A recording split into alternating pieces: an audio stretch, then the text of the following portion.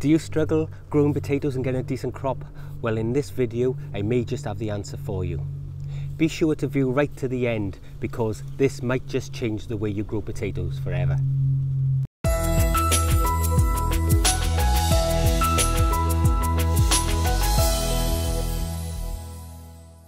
Welcome to UK Here We Grow. My name's Tony O'Neill. If this is your first time here, consider hitting that subscribe button and bell icon to be notified every time we put out new content. So last year I ran an experiment to see which was best. Potatoes grown in the ground or grown in containers. And the result shocked a lot of you, with potatoes grown in containers having double the yield over the potatoes grown in the ground. So this year we performed that experiment again. Now, that experiment threw up a lot of chat and comments in last year's episode. And that was all based around the fact that some of you thought it wasn't a fair trial, mainly because potatoes that were grown in containers had compost in them and potatoes that grew in the ground had soil in them. So in this year's planting episode, which I will put up in a link up in the cards above us, we spoke about the differences with that. So I really suggest you go up and have a look at that too, because that will explain my reasons behind and what we did to the ground as well as the containers to try and balance out this trial a bit more. But there's one point I want to make about growing in containers uh, uh, over the ground. The whole idea about growing in containers isn't to put the soil from the ground in the container. It's about being able to control your growing environment to get the best yield. After all, that's what we're after. Who cares whether or not you can be able to put them in the ground and get the best yield or in a container and get, get the best yield? What's most important is getting that yield. The potatoes are pretty much over now, both in the ground and in the containers. Now, it's been a really challenging year this year. It's been absolutely boiling. And of course, I got a feeling it's going to be a year for the ground potatoes because they have been protected from that heat. They've been able to be insulated. We've even put bark chip over the row that was uh, here against the row of containers just to help these ones in the ground keep that moisture in. The containers, however, they will have been getting hot. Number one, they're black, so they absorb heat.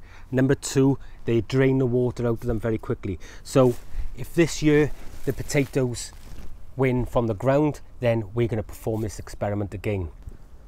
So as you can see, the tops have pretty much died off now.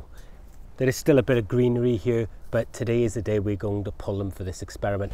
Now here, in the buckets we have the row on the left and there's still quite a lot of foliage on some of these but to make this a fair trial we're going to pull them at the exact same time.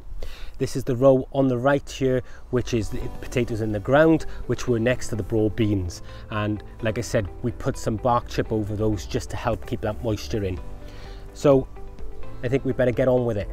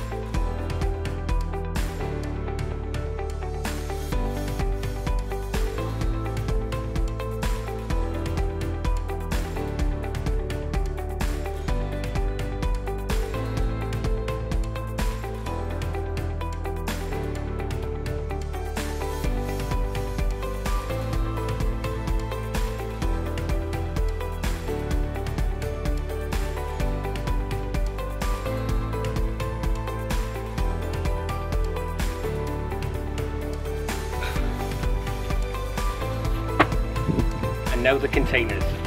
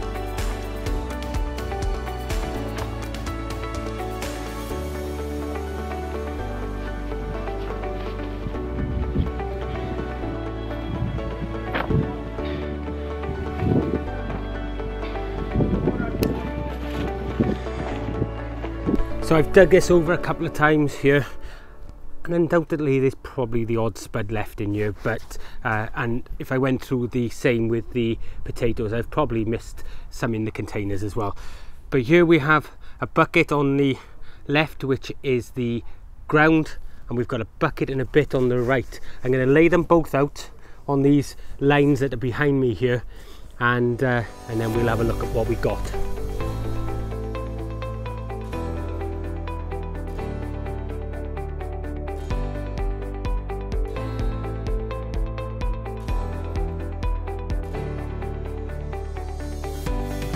on the left guys. We've got the potatoes that are grown in the ground. They're good size spuds you know. Can't moan about the size of the potatoes. But look at the difference again in buckets. The ones on the right of me are ones grown in buckets. Again really good size spuds some smaller ones. But overall we've got about half the amount of gain than we did over the potatoes in the ground. Now I'm not going to bother weigh them, you can see the difference here. Um, I think it's pretty clear containers win again guys. That's two years running that the containers have probably nearly double the yield.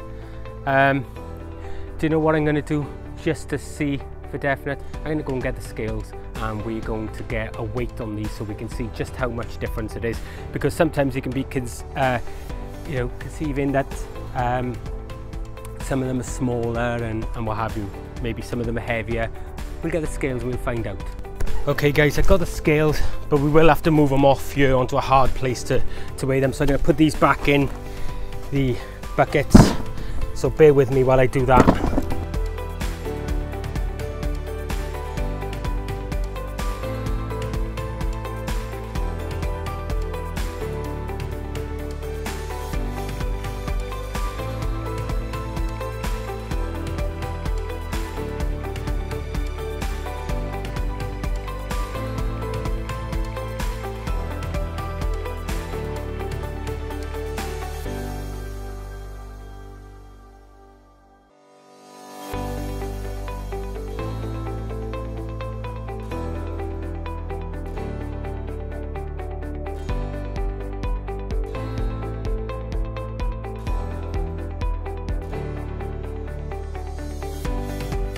All right guys i'm just going to take these buckets up there and we'll take the scales up and we'll do that oh.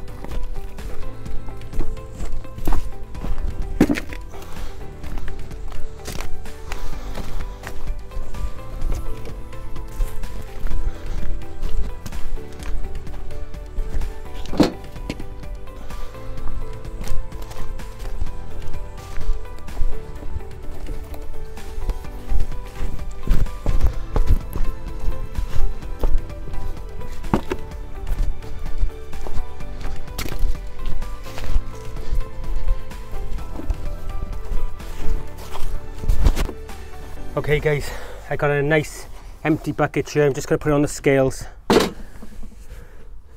And I don't know if you can see that. It's showing us 8.95. So if I tare this off now, so that's now showing zero.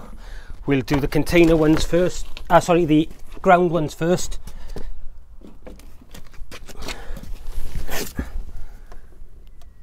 I don't know if you guys can see this. I'll take a photo of it so uh, you can see, there we are guys, 17.38 kilos in that one, 17.38.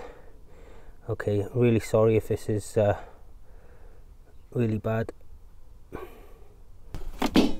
Okay, first one of these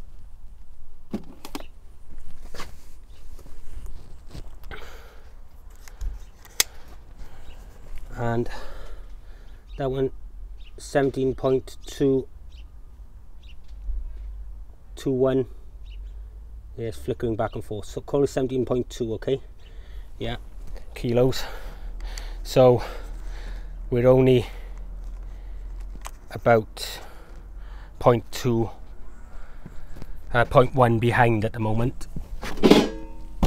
And we've got this one to go as well. And that, guys, is another 11.4. So guys, containers. We've got tw over 28 kilos of potatoes. And ground, we've got over 17 kilos. That's a 10 kilo difference in the containers. Now, as you remember from that video, which you'll see in the cards, we planted 20 potatoes in the ground and we planted 10 buckets and two potatoes in each bucket. So they've had the exact same amount of potatoes. They've had the same water because I've put a certain amount of water per plant per day. So they've had the exact same water. Now this year I would have thought that the ground would have had it for keeping that moisture. But it shows the results are showing guys. Yeah two years running the containers are nearly doubled over what the ground has done I think this is just a done deal, guys. Growing in containers is much better than growing in the ground. Yes, I know it's not the same as putting soil in a container because Lozu said that last year, yeah? And I know maybe the soil isn't, maybe wasn't as rich as the compost.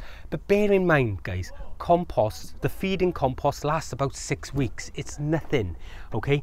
However, last year I put loads of green manure into that ground. It got loads of manure on top of it as well. So the potatoes had loads of feed that the compost didn't to try and balance that out. Yeah, but the results are exactly the same. Maybe it's because they warm up quicker in the buckets. I'm not sure. Yeah, all I know is containers rule as far as potatoes go. Question of the day, guys. How do you grow your potatoes? Let me know down in the comments box below. I'd really be interested to see how your potatoes are done with this heat. I'd also like to know whether or not you're going to start growing in containers like these. Now these potato containers all come from Oakland Gardens. Um, as, as you guys are aware, I'm a big advocate of them. They're, they're fantastic, they're heavy duty, you throw them about and I've been using them for years and years and years. So that's the results of the container versus the ground experiment again for a second year running guys. Do you really see a point on a third year? If you want that third year experiment, let me know and I'll maybe possibly do it again next year. I'm Tony O'Neill, this is UK Here We Grow and remember folks, you reap what you sow. I'll see you in the next one. Bye bye.